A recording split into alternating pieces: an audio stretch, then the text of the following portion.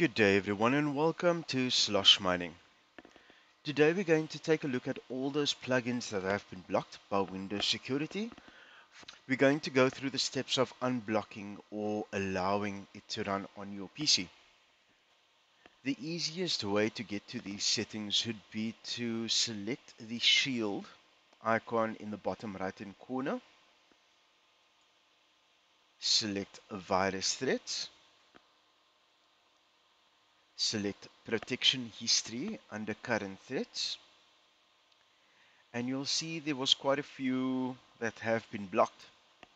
If you open up the threat, you'll notice that it will actually direct you to that specific folder or file in the NiceHash Miner folder.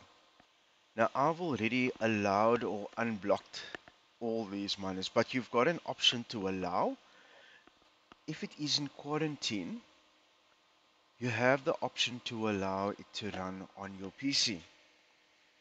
The other option would be just to type in virus in your search bar, select virus and threats, click on protection history,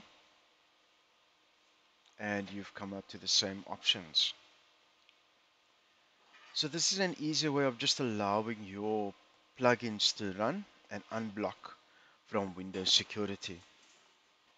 Hope this video was helpful and insightful. I've created a Discord channel as well, which is down in the description below. Join the Discord channel to have a chat with some experienced miners that might have gone through the same issues. Please like, subscribe and hit that notification bell to stay up to date with upcoming videos. Thank you for watching. Catch you on the next video. Ciao for now.